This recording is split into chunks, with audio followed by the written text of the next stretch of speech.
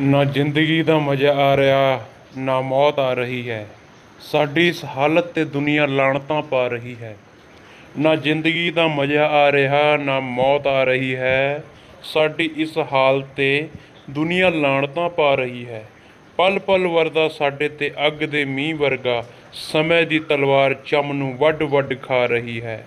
ਸਮੇਂ ਦੀ ਤਲਵਾਰ ਚਮ ਨੂੰ ਵੱਡ ਵੱਢ ਖਾ ਰਹੀ ਹੈ। ਨਾ ਬੋਲ ਕਿਸੇ ਨੂੰ ਮਾੜਾ ਮੰਦਾ, ਬੋਲ ਨਾ ਕੌੜਾ ਬੋਲ। ਖੰਡ ਵਰਗੀ ਬੋਲੀ ਬੋਲ ਵੇਖ ਸਭ ਆਣਗੇ ਤੇਰੇ ਕੋਲ।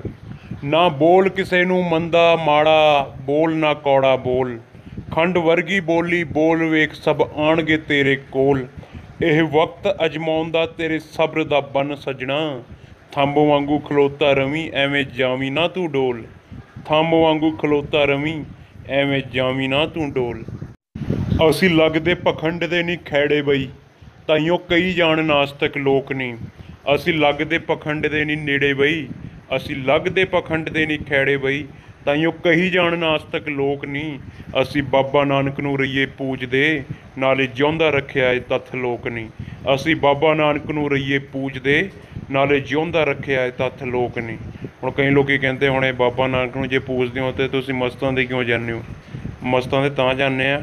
ਕਿਉਂਕਿ ਬਾਬੇ ਨਾਨਕ ਨੇ ਕਿਹਾ ਸੀਗਾ ਰੱਬ ਇੱਕ ਹੈ, ਇੱਕ ਓੰਕਾਰ। ਉਹਨਾਂ ਨੇ ਸਾਰਾ ਗੱਲ ਹੀ ਜਿਹੜੀ ਸੀ ਉਹ ਮੁਕਾਤੀ ਜਿਹੜਾ ਖੈੜਾ ਸੀਗਾ। ਇਸ ਲਈ ਬਾਬੇ ਨਾਨਕ ਨੇ ਕਿਹਾ ਤੁਹਾਡਾ ਜੀ ਜਿੱਥੇ ਕਰਦਾ ਤੁਹਾਨੂੰ ਜਿਹੜਾ ਮਤਲਬ ਰੂਪ ਚੰਗਾ ਲੱਗਦਾ ਉੱਥੇ ਜਾ ਸਕਦੇ ਹੋ ਕਿਉਂਕਿ ਰੱਬ ਇੱਕ ਆ। ਤਾਂ ਅਸੀਂ ਮਤਲਬ ਕਿਸੇ ਵੀ ਰੂਪ ਦੇ ਵਿੱਚ ਮੰਨ ਸਕਦੇ ਹਾਂ ਉਹਨੂੰ। ਇਸ ਲਈ ਅਸੀਂ ਉੱਥੇ ਜਾਂਦੇ ਹਾਂ।